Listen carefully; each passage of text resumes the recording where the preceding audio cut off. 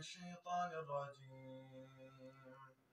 إن هذا القرآن يهدي للتي هي أقوم ويبشر المؤمنين الذين يعملون الصالحات أن لهم أن لهم أجرا كبيرا.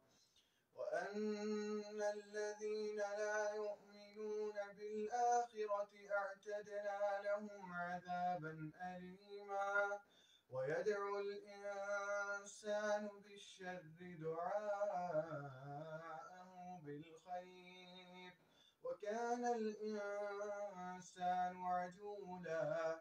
وجعلنا الليل والنهار آيتين.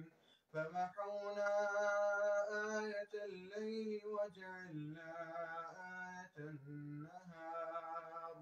وجعلنا آية النهار مبصرة لتبتغوا لتبتغوا فضلا من ربكم ولتعلموا عدد السنين والحساب وكل شيء فصلناه تفصيلا وكل إنسان ألزمناه طائره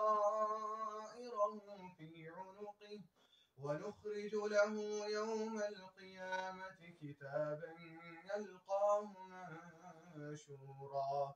اقرأ كتابك كفى بنفسك اليوم عليك حسيبا.